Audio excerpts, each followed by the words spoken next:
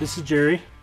Uh, in this video, we're going to talk about the vertical connection of the Black Arch holster to the bottom of our Ravis pack.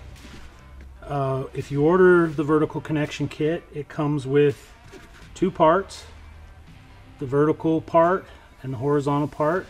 These pieces go together to lock it into the bottom plate on the Ravis. And then your holster will connect here in a horizontal manner. All the hardware you need comes with the holster connection uh, along with uh, a screwdriver to make the connection. You take your horizontal plate and slide it through the slots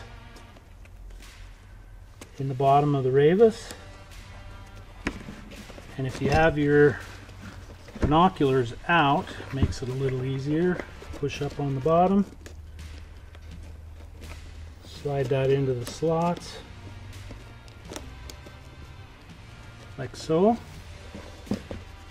And then with your individual piece, you're going to make sure you slide it in in the opposite direction so that when it screws together, it locks it into the bottom of the pack. So you're going to slide it into those slots. There and there.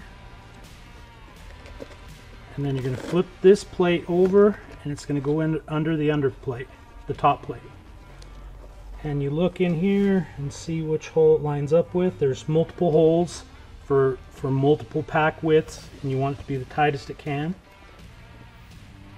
You take the female end of the screw, put it on the back of the plate, and put the other one on the other side.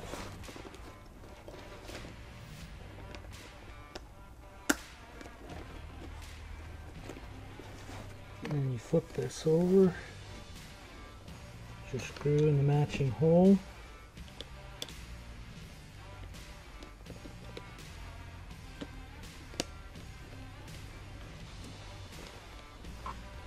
And one on this side.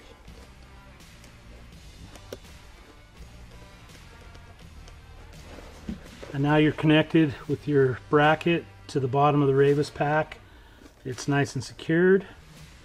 And then these are ambidextrous, so you can go right-handed or left-handed. So when you're making the connection of the holster to the bracket, the screwdriver goes through the outside hole to the inside. And then you line it up like so. And you put your other nut there. Put that one in that hole.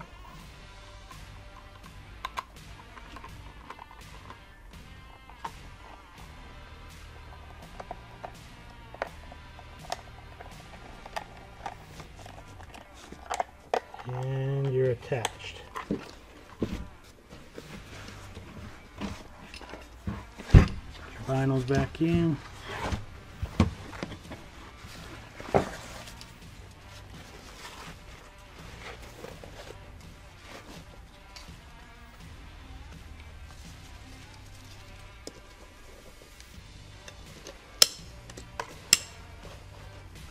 And then your gun goes like that.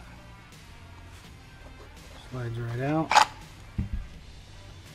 This connection will be the exact same on the bottom of the Gen L packs that have the MOLLE webbing. It'll connect exactly the same way through the MOLLE webbing.